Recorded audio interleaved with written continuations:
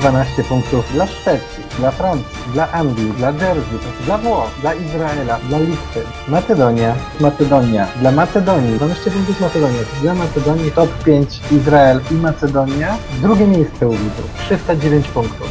Otrzymuje Macedonia, Włochy otrzymały 326 punktów, co oznacza, że nie pokonały ani Macedonii, ani Izraela. Co oznacza, że wygrał Bobby Andonow i utwór z Macedonii.